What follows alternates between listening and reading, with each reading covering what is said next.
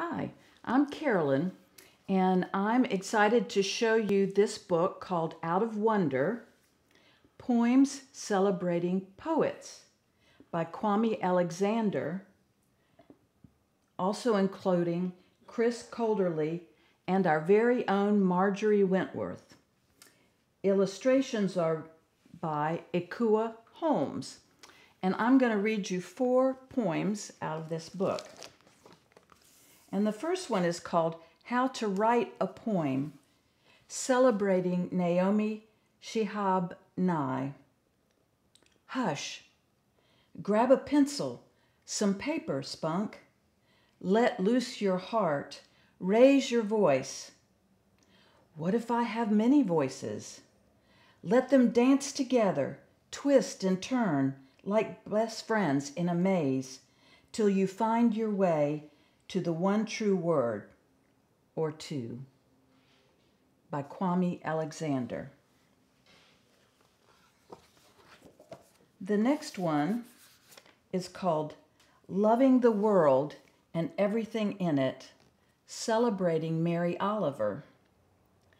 Each day I walk out onto the damp grass before the sun has spoken because I love the world and the miracle of morning I love to stand beside the old oak trees beneath a symphony of birdsong and listen to every perfect note.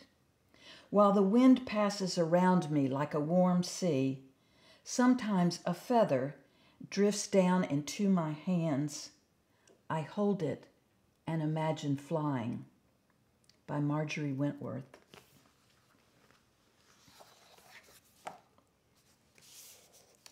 This one is called For Our Children's Children, celebrating Chief Dan George. Greet the new day like a stranger entering it for the first time.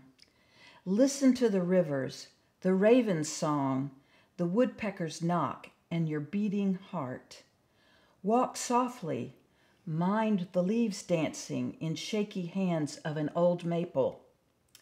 Let the shadows of drifting clouds warm your cheeks and whisper softly, Share the earth with all creatures.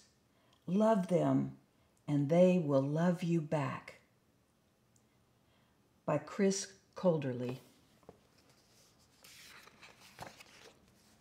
And the last one is called Spin a Song, celebrating Rumi. Walk out of your room beneath the morning sky. Let the sun enter your heart and find a way to keep it there. Make a song from the light falling through the air and dance even when you are alone. Dance if you are still sad. Dance when you are tired. Dance until your feet lift off the ground like wings.